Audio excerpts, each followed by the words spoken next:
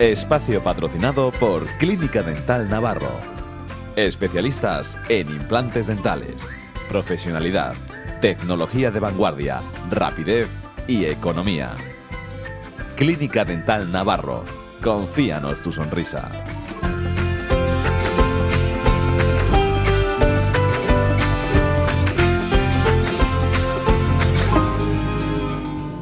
La doma clásica, denominada adiestramiento en Hispanoamérica, dressage en francés en inglés, es una de las disciplinas olímpicas que forman la equitación. Esta disciplina tiene por objetivo el desarrollo del caballo mediante un entrenamiento racional, metódico y equilibrado por el que el jinete consigue que el caballo ejecute todas sus órdenes con armonía y equilibrio. Estas cualidades se manifiestan en la franqueza, en la regularidad de los aires, la armonía, la ligereza y la facilidad de los movimientos. El caballo da así la impresión de manejarse por sí mismo, confiado y atento, obedece generosamente las indicaciones de su jinete con un paso regular, franco y suelto, con un trote libre, elástico, sostenido y con un galope regular, ligero y cadenciado, mostrando así una estampa de equilibrio natural y armonioso. Esto es al menos lo que se ve en la pista, pero al parecer parece ser que en los últimos tiempos esa armonía que se ve en la competición no se está correspondiendo con lo que hay fuera de las pistas. Lo estamos viviendo con polémicas y enfrentamientos que tienen como protagonistas a jinetes y amazonas y a la propia Real Federación Hípica de España, que están poniendo a la doma clásica en el disparadero y provocando las quejas de muchos que se sienten manipulados, engañados y hartos y por el contrario provocan también el enfado de quienes temen que esta basura solo sirva para estropear algo que ha costado mucho levantar y que ya se mide con los grandes a nivel mundial como es precisamente la doma clásica. En anteriores programas les hemos contado todo el follón que ha rodeado al expediente de sanción contra Artur Álvarez Pou y María Igualador. Hoy vamos a conversar con un jinete de doma clásica, pero no uno cualquiera, sino un jinete olímpico que se ha puesto en contacto con nosotros porque quiere romper una lanza a favor del deporte y lanzar un mensaje positivo para parar todo este lío, para no ensuciar ni la imagen de esta disciplina, ni de nuestros jinetes, ni siquiera de los que mandan, aunque esto está ya un poquito más difícil. Esto es, para no tirar piedras sobre nuestro tejado, sobre todo de cara a la Galería Internacional. Ese jinete que representó a España en los Juegos de Seúl, Barcelona y Atlanta es Juan Matute. Buenas tardes, Juan. Bienvenido a Rienda Suelta. Hola, buenas tardes, Ima. ¿Qué tal? ¿Cómo estás? Muy bien. ¿Qué tal te va en Wellington? Tú estás en Wellington, nosotros en, en Pues Madrid. estás bastante mejor que nosotros, yo creo. Estamos ya a punto de haciendo las maletas, ya salimos la semana que viene para España. Sí. Así que nos vemos enseguida. ¿eh? Enseguida, enseguida. Bueno, vamos al lío. Juan, te has puesto en contacto con nosotros porque quieres alzar tu voz para parar ese bucle de, de suciedad en el que está entrando la doma clásica en nuestro país. Eh, ¿Es así, Juan? Así es. He estado escuchando últimamente lo- Sí. lo que- los acontecimientos a Sí. través de, de vosotros Sí. y estoy ya un poquito sorprendido. Sí. Eh, yo creo que eh, toda esta situación de la sanción de los niños ha sido un poquito desproporcionada. Sí. Entiendo que viene, que es una cosa que nunca se ha comentado. La federación tiene que estar un poquito también defendiendo, lógicamente, los intereses de todos, Sí. los que inclui- estamos incluidos todos. Sí. Y ya el año anterior, en el 2015, había habido un conflicto, yo creo, mucho más grave que lo que ha pasado con, esta, con María y con Arturo. Sí. Y yo creo que, que se llegó a un arreglo con uno de los jinetes juveniles que prota- protagonizó una situación no muy agradable en el en Vitofan y se, se llegó a un entendimiento. Imagino que hablarían con los padres, con el entrenador y no pasó nada. Con lo cual entiendo que esta situación de estos chicos ha sido, a mi, a mi opinión, eh, desproporcionada a la realidad. Pero bueno, independiente de todo esto, eh, Inma, Sí. eh, bueno, salió, como digo yo, el Robin Hood de la Doma, que es este señor que yo no lo conozco, que es eh, Miguel Novales. Noguera, Noguera, En sí. su primera actuación con vosotros me, Sí. me encantó, me gustó, me pareció una persona seria, sensata, que planteaba las cosas sin demasiada emoción, sino muy, muy, muy prácticas. Sí. Y ya en la última entrevista que os he escuchado creo que está totalmente desproporcionado y, y un poquito contaminado Sí. el ambiente, cosa que Sí. no nos beneficia a nadie, ¿no? Sí. ¿Y qué hacemos para parar esto? Porque, mm, a ver, es importante el trabajo, Juan, es importante tener resultados, pero como tú decías, a veces suceden cosas que no son muy buenas, a veces los jinetes trabajan, compiten, obtienen buenos resultados, pero un buen día caen en desgracia, dejan de ser simpáticos, dejan de ser llamados, pasan a ser apestados. Esto mm, pasa de verdad. Tú lo sabes. Bueno, yo he sido posiblemente, creo, la persona más eh, polémica siempre con la federación. Os recuerdo que en mi última actuación, y ya lógicamente por los años que tengo, fueron mis Juegos Olímpicos de Seúl. En el último momento no, pudo, no pude ir por una táctica, una política eh, totalmente desajustada a, a la situación en- con el equipo. Sí. Pero bueno, ya está, se pasó y hay que seguir andando. Os quiero explicar que hay que seguir avanzando. Sí. Que lo importante es el deporte, lo importante, y en concreto lo importante son los chicos. Yo no creo en eso. Si los chicos tienen resultados, volverán a estar donde están y, punto y pelota. Lo malo es el ambiente que se está creando. Y la guerra, es muy fácil, creo, eh, es más fácil ser oposición que gobierno. Es muy fácil criticar desde fuera. Y yo en este momento me quiero, quiero defender un poquito a la federación, porque yo también entiendo que están haciendo cosas muy bien. Por ejemplo, el deporte de base, lo, que se ve desde aquí, desde Estados Unidos, pero desde fuera, tengo una visión un poquito más amplia, puedo ver más el bosque que el árbol. Sí. Em, yo sí creo que están haciendo un trabajo muy interesante y muy positivo. Y la federación, independiente de los resultados puntuales de algunos jinetes, la, base está viniendo por detrás, con lo cual para mí chapó a la federación. Con lo cual no entiendo tanta caza de, brujas. Tú puedes estar más, eh, puedes estar más, eh, vamos a ver cómo lo puedo explicar de acuerdo con la política de la federación que no es Luis, perdona, porque aquí parece que todo es Luis Lucio, es Luis Lucio y muchas más personas que hay detrás. Claro. Entonces tampoco me parece justo por la gente que está haciendo un trabajo por detrás y parece que son todos unos demonios, ¿no? Esa casa de brujas de este señor, de Miguel hacia Luis Lucio, pues quizás se tiene que buscar otro marco y otro entendimiento, ¿no? Bueno, Pero Noguera, no Noguera remete contra... está creando una situación nada positiva, ¿no? Eh, Juan Noguera remete contra Luis Lucio porque él afirma un informe eh, en el que pide esa sanción para los chicos, basándolo en que los demás jinetes se sintieron presionados por ese cambio de habitación y en realidad el testimonio de los demás jinetes eh, desdice esto. O sea, ninguno ha dicho que se sintió presionado, todo lo contrario. Incluso en estos micrófonos, Sofía Pachón, que era la el principal argumento que utilizaba la Federación para acusar a Artur y a María, dijo que en ningún caso se había sentido ya, presionada. Pero escúchame, Entonces, que este chico no ha matado a nadie, por pues favor, que no ha sido... Si yo creo claro, que eso es. si hubiera habido una persona entre los chicos, representante a los chicos, que hubiera podido ser Miguel o, Víctor, que para mí es una persona súper cuerda, súper sensata y súper reconocida. Con la federación, algo más ha tenido que pasar para que lleguemos a estos términos. Yo no creo que la federación arremeta en estos términos contra nadie. Esa no es su política. Su política es ayudarnos y colaborar. bueno, hay quien habla de un enfrentamiento tradicional, personal. De la, película. Sí. Pero insisto, creo que si hubiera habido una persona eh, de portavoz de ambas partes hubiera solucionado sin llegar a estos términos, ¿no? Y sobre todo, insisto, la última versión esta de atacar a la Federación, atacar a Luis Lucio, atacar a todo el mundo, que todo es un desastre, creo que por ahí no va la cosa.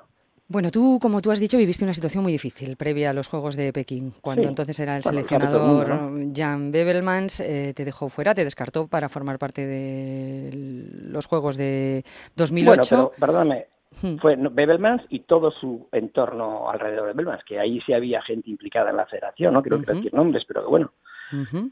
Gente que todavía está, relacionada con el mundo de la doma clásica. Y eso sí que era grave, Inma, no era dos meses de sanción, no era como cree que el comité o el Consejo, el Consejo Superior de Deportes comentaba que podía ser económico, perdóname, yo estoy hablando que eran 100.000 euros por no participar en los Juegos, o sea que no estamos hablando de los 300 o 500 o 1.000 o que pueda ganar un niño si gana en España, sí. y luego a un profesional, y en ese aspecto yo me sentí perjudicado, pero eso ya está pasado. Bueno, ¿y cuál es entonces la, la situación ante estas cosas? ¿Desaparecer, irte a otro país o es más lícito? No, no, para nada, no, no, ¿qué dices? Para nada, seguir trabajando, seguir teniendo tus sueños, seguir avanzando, ¿sabes? todos en la vida a veces tenemos algunos, algunas, eh, algunos varapalos, como pueden ser estos. Insisto, el mío creo que fue muy serio, pero creo que hay que seguir trabajando igual y, funciona. Y en el caso más en Goreto, de niños, de gente que viene por detrás, niños, obviamente juveniles, jóvenes jinetes, pues tienen todo el futuro por delante. Y los mayores tenemos la obligación, la responsabilidad de ayudarles y con nuestros errores mejorar. Fíjate yo he aprendido mucho. Yo soy una persona que era muy también Robin Hood y enseguida protestaba y, y luchaba contra los molinos, pero al final veía que no se conseguía nada. Creo que se consigue hablando. Yo tengo que decir, cuando he tenido, lógicamente, mis roces durante, desde que vine a Estados Unidos, no roces, en situaciones apretadas con la federación, siempre he estado para, para escucharme y lo hemos resuelto y no ha pasado nada. Entonces, ¿por qué ahora tenemos que crear esta caza de bruzas? Es, que no lo entiendo, Inma, no lo entiendo. Insisto, que no se puede hablar, buscar una persona que en su día que se quiso formar el club de jinetes que pueda ser portavoz entre la comunidad, entre el colectivo de jinetes y la federación, porque evidentemente la federación se equivoca. Claro, mira. también nosotros estamos aquí para deciros, oye, por aquí sí o por aquí no. No creo que estén tan cerrados. Yo así no lo veo, por lo menos, vamos. Lo que pasa es que el ambiente está muy, muy calentito, Juan. Por, ejemplo, el, jueves pasado, eh, en la inspección veterinaria del CDI de, del CECIL, pues había también un ambiente tenso cuando se obligó a los jinetes españoles a hacer esa inspección veterinaria con botas. Solamente a los jinetes españoles, los, los, internacionales podían hacer lo que quisieran, hasta que, bueno, pues eh, Daniel Martín Dox eh, fue a pedir explicaciones y el propio eh, presidente del concurso, Paco Guerra, pues eliminó esa, esa imposición de Luis Lucio porque además es que ni siquiera la contempla la FEI, ¿sabes? Entonces los jinetes... ahí sí te doy de acuerdo, pero te digo que tenemos que dialogar, eso me parece una medida exagerada. Eh, insisto, por ejemplo, que defendamos la marca España en un equipo, en una Copa de Naciones, Campeonatos de Europa, cosas que tienen una representatividad concreta en un CDI, eh, eso sí es una cosa que creo que es un error, pero no es para, crear tan mal ambiente. Creo que se puede hablar que y si ha pasado ese concurso puntual, volver a solucionarlo. Sí creo que es fundamental el casco con los menores. Yo fui uno de los primeros que lo implantó aquí en Estados Unidos y me acuerdo que Stephen Clark eh, fue tomó nota cuando hace 5 o 6 años y lo propuso a la Federación Internacional, con lo cual Pablo y Juan cuando salían eran los primeros que salían y creo que fue una cosa positiva. Lo de las botas me parece fuera de tono, pero insisto, que esto no es mala que se pueden solucionar más cosas vamos a concentrarnos en coger resultados, en que los niños aprendan, en hacer una buena preparación y una estrategia para tener resultados, pues lo de las botas es un poquito una niñez, no sé. Pues por eso es que tendrán que poner todos, no solamente los jinetes. Bueno, tú dices, tú, dices que tú, mm, que tú te das cuenta, tú vives en Wellington. ¿Crees de verdad que desde allí, desde Estados Unidos, tienes una percepción real de cómo se vive el día a día de la clásica aquí en nuestro país? ¿O quizás se te escapan detalles cuando vienes a competir con Juan Junior porque lo ves de una manera desgada, sesgada? Vosotros venís aquí además un poquito como estrellas de Hollywood, eh, Juan. No, hombre, nosotros que no, que somos Tu hijo es un crack en la clásica, siempre tenéis con vosotros a toda la directiva de la clásica mm, con vosotros, cosa totalmente normal, porque saben que sois de los grandes.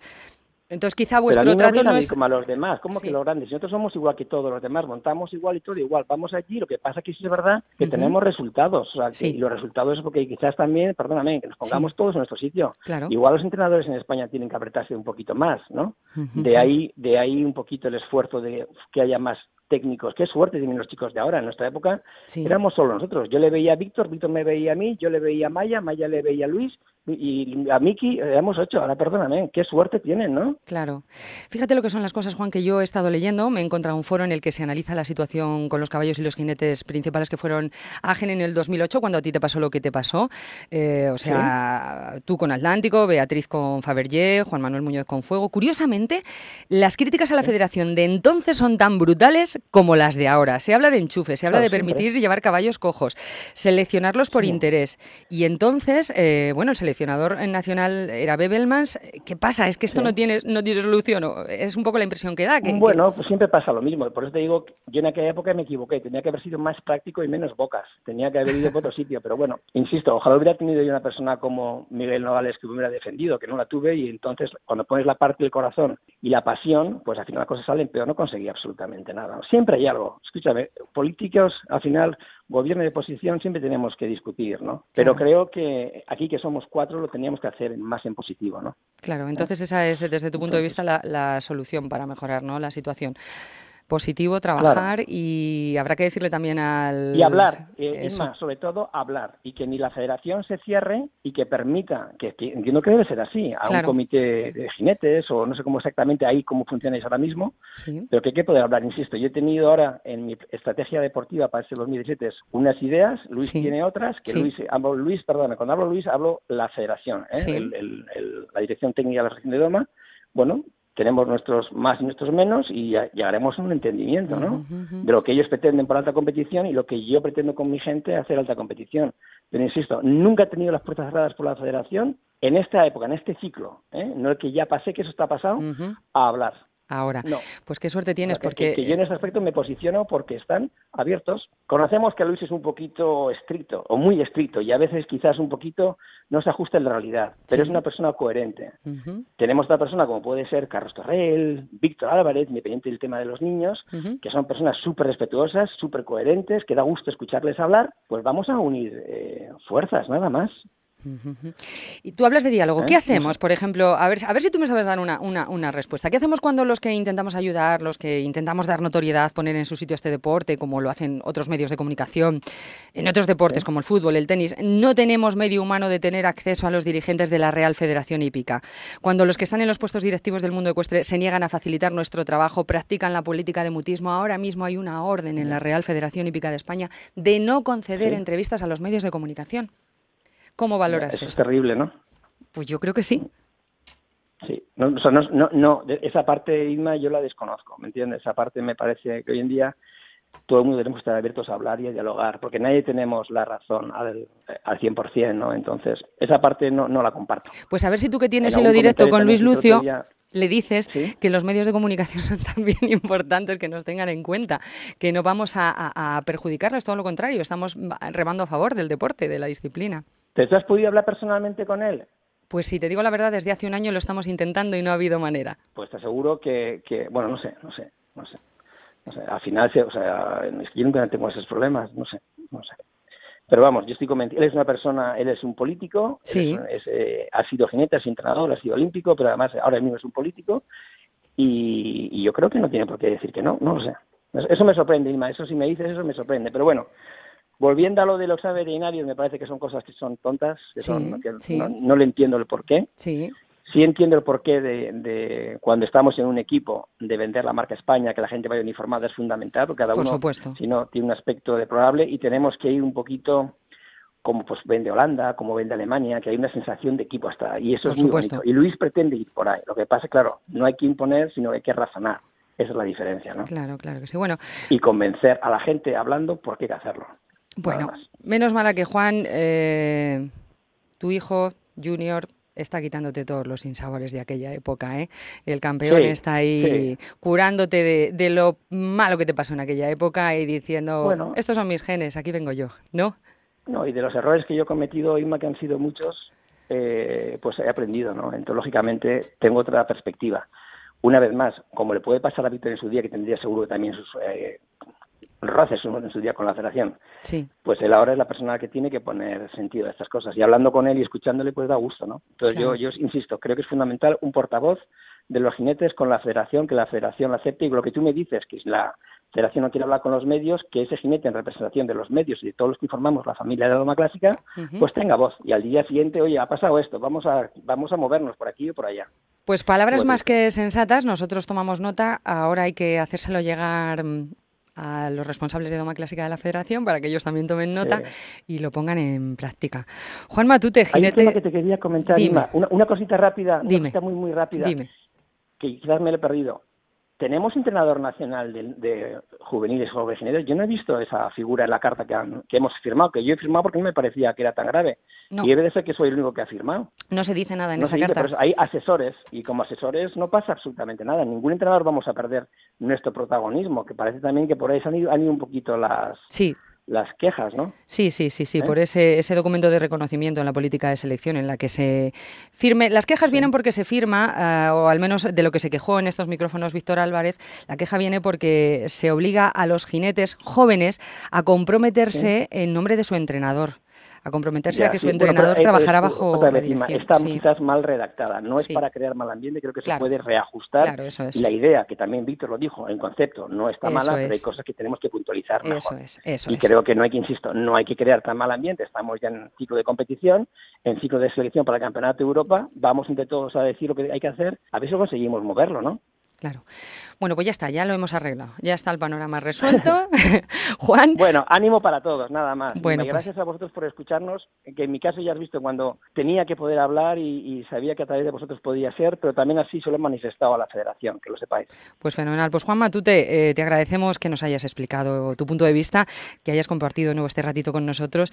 Sabes que esta es tu casa y que hayas puesto un punto de cordura en esta movida que hay últimamente en la Doma Clásica. Juan. Lo- Juan, lo- seguro que estos días, para cuando vayamos para el máster, la Sí. Cosa empieza a funcionar mejor. ojalá. ¿eh? Y si no, le tiraremos de las orejas a Luis Lucio. Tú como Bueno, tienes confianza, te acercas y le enganchas y ya los demás le tiramos. Genial. Venga, un ¿Eh? abrazo fuerte. Juan, hasta luego. todos. Chao, hasta luego. Y gracias por todo. A ti, hasta luego. Adiós. En Clínica Dental Navarro, la última novedad en implantes. Con la técnica All in Four.